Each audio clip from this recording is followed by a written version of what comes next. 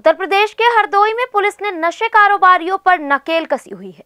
आपको बता दें कि पुलिस नशे के कारोबारियों को पकड़ने के लिए छापेमार अभियान भी चला रही है। इसी कड़ी में आबकारी और पुलिस की संयुक्त छापेमारी में कच्ची शराब सहित चार आरोपितों को काबू किया गया है। बताते चले कि आबकारी एवं पुलिस टीम द्वारा थाना शाहबाद की कंजड़ बस्ती खेड़ा बीबी जई, काशीराम कॉलोनी व मोहल्ला सैयदवाड़ा में दबिश दी गई। दबिश के दौरान 110 लीटर कच्ची शराब और 2000 किलोग्राम लहन तथा शराब बनाने के उपकरण बरामद किए गए हैं।